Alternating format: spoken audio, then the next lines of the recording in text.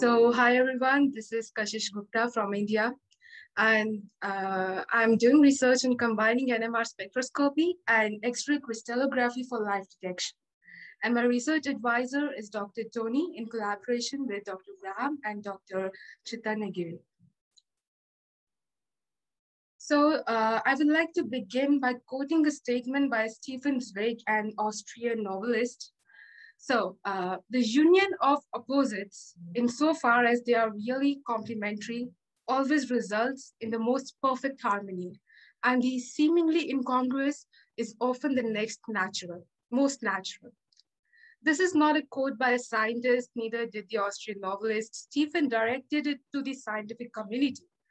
But I would still like to ask you all to ponder over this because this is something which might be the base of bringing in novel techniques in life detection. So uh, if we talk about the history of complementarity in life detection, that's what I'm focusing on. The best example of complementarity we know is GCMS, gas chromatography mass spectrometer. Mass spectrometer was known for its main uh, was known for its main focus on two space-related applications, studying the composition of planetary atmospheres and monitoring air quality on manned space missions.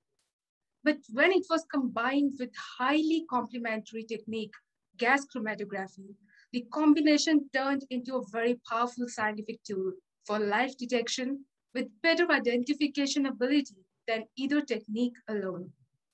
So as we can see in this figure, that the gas chromatograph and the mass spectrometer are two different instruments, but they combine the technology so that we can get the data which is combined from both these two technologies. But these are not integrated technologies in one instrument. These both are two different instruments. This thing we have to remember. But talking about me, I'm more interested in rocks, minerals, geology, water, and surface chemistry. So the existing technique which caught my attention first was X-ray crystallography. It might not have an impressive timeline like mass spectrometer and gas chromatography mass spectrometer, but have a cool work record. So this is the CheMin X-ray diffractometer. No previous lander or rover other than Curiosity had been able to perform X-ray diffraction because the machines required for this technique were typically the size of a refrigerator engineers were able to shrink the size of a refrigerator to this size of a shoebox and make it less power hungry, allowing it to be packed and sent to Mars on the rover. And that was the Curiosity rover. Talking about the CheMin technology, how did it work? So Curiosity delivered an aspirin-sized sample of fine soil to CheMin which was placed in one of the windowed cells seen in the image. The image on the right, you can see two circles. These were the cells, or you can say a windowed cell. And on this, the sample was located. Those cells vibrated 2000 times a second to shake up the Martian sand, which is then blasted with the X-rays. The X-rays penetrated into tiny grains determining the spacing of their atoms and uniquely identifying which minerals are present and their quantity. These diffracted X-rays are then focused onto a CCD, which we can see as the black screen kind of thing. We can say that it is analogous to the back of a digital camera. That's how it works. So we get these rings on the CCD. These rings are called Debye rings. And these are analogous to barcodes. For, an, uh, for a layman who is not in science or in spectroscopy, they can compare this structure, this uh, pattern with the barcodes. That's how it looks. Then the radius of these rings are measured using Bragg's law. The Bragg equation allows us to measure the spacing between different layers of atoms. So what is this? n times lambda is equal to 2d sine theta. And since each crystal has a unique set of possible X-ray reflections, this information tells us what kind of mineral or what kind of rock it is. So thanks to Braggs. But then again, X-ray crystallography is not a perfect technique. It's one of the biggest advantage can also be its disadvantage. So what is it? The most critical step for determining structures by X-ray crystallography has been and will continue to be obtaining high quality crystals of samples of interest.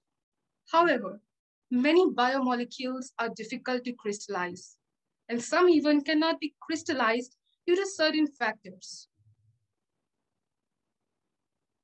But instead of looking out for alternatives, why don't we try a technique which is complementary to X-ray crystallography so that we can get benefits from the other technique as well as retain the uniqueness of X-ray crystallography for detection. This approach based on complementarity is tested and proven. We saw the example of GCMS, that is gas chromatography mass spectrometer, which has been used on Viking Mars landers, MSL, and Huygens probe. Compared with X-ray crystallography, NMR spectroscopy, that is nuclear magnetic resonance, has unique features.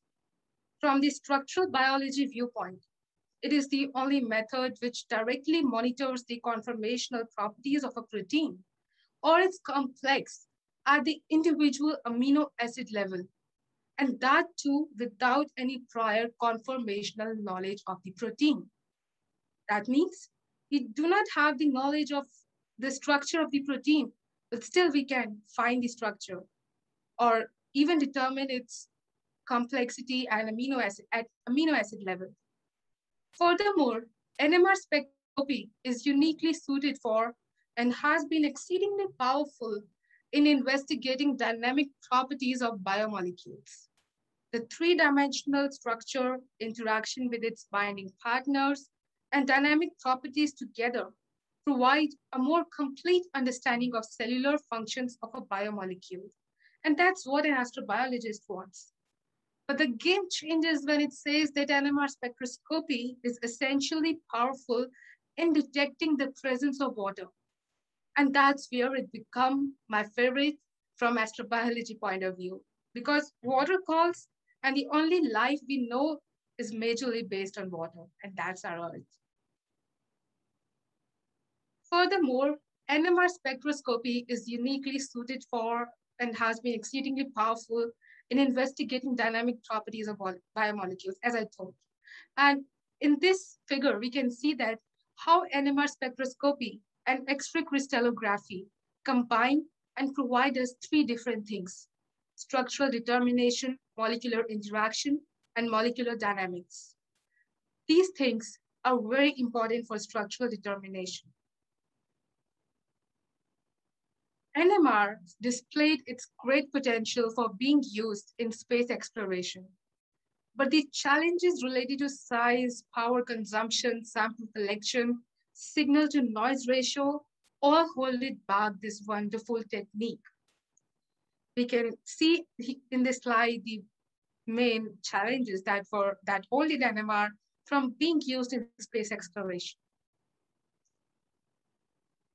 But uh, two years ago, two or three years ago, the University of Minnesota and BioServe Space Technologies worked on a project for almost two years and proposed to co-develop this integrated system. And here we can see that how a portable NMR spectrometer integrated system consisting of a portable NMR spectrometer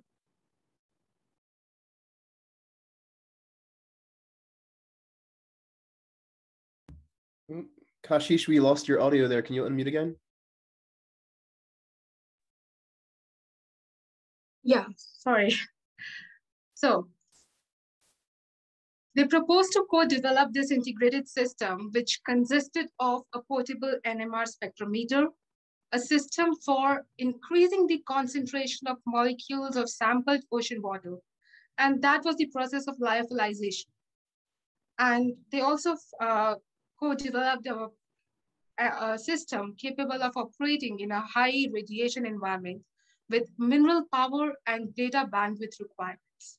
That's how they worked on power consumption and how they can face the radiation, which is very high if you talk about moons like Europa and Enceladus, etc.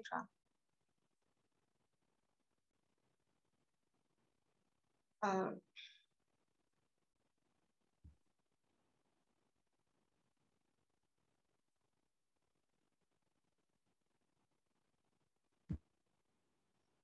is my slide visible? Um, uh, so we see NMR spectroscopy and X-ray crystallography. Yeah. So the two techniques containing completely different information can be complementary to each other. X-ray crystallography, when combined with NMR spectroscopy, can resolve each other biases and give information more accurate than obtained by either.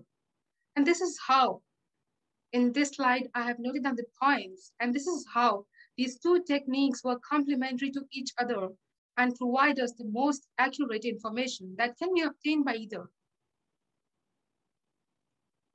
Further development in combining these two technologies is much needed. Only that we can cancel out the challenges. Both NMR and X-ray crystallography offers unique applications. Here we can see the unique applications of NMR like metabolic profiling, molecular structures and dynamics, molecular interactions, drug discovery, and so on. When combined with X-ray crystallography, they can be used almost anywhere. In this figure, you can see the applications of X-ray diffractometer, which is a part of X-ray crystallography in pharmaceuticals, environment, nanocompositories, geology, and so on. And these are unique from NMR. You might have noted this. Their combination will not only improve the life detection technologies, but also improve the life on Earth as well as space. So the research has not to be stopped yet. Every time there will be scope for improvement. There are still questions that needed to be answered. So in my concluding marks, remarks, I want to put forward some questions which will be the base of this research further. How can it integrate sample collection approach? Can it work well in extreme conditions? What can be the ways to integrate the results? When we will, uh, when we will work to find the answers to these questions, then we can say that, yeah, we have done some work in combining the X-ray crystallography and NMR spectroscopy for life detection. Thank you.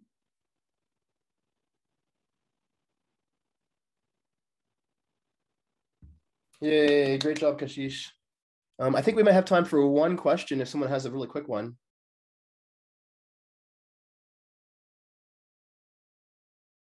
Um, if not, I'll ask a quick question here.